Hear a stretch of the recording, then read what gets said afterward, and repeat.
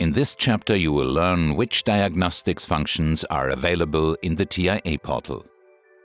Many different types of faults can occur in a plant. The TIA portal offers you various ways of troubleshooting these faults.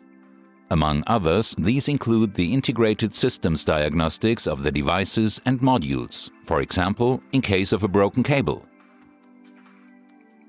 The machine and plant diagnostics for monitoring the routines of your machines and equipment, for example, in case of a fault of a lifting unit that does not reach its limit position.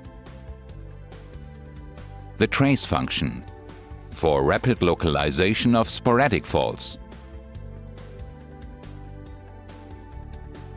Using the integrated web server, you can diagnose the faults in your plant easily via a web browser on your PC or your mobile devices.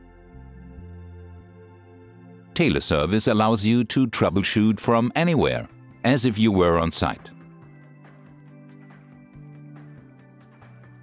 The TIA portal is a tool offering highly efficient support for troubleshooting, fault diagnostics and fault resolution of your system.